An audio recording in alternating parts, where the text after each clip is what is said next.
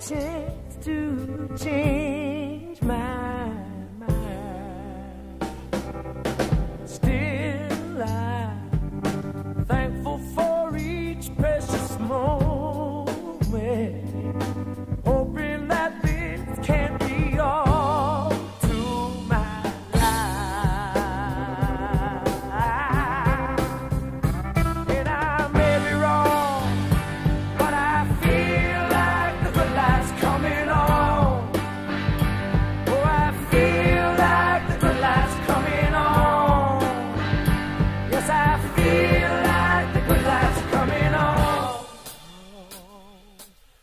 Why should I care?